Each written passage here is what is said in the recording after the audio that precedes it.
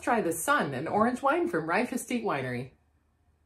Continuing our series on orange wines from Ontario, and if you're wondering what an orange wine is, at the beginning of this series, you'll find a video that explains all about it. This one's from Reif Estate Winery in Niagara-on-the-Lake, and the bottle we have here is called The Sun. It's a 2019 Vidal, and we do try not to get sucked in by pretty labels, but look how pretty this is. Let's open it up and see what it's like. Really nice deep orange color.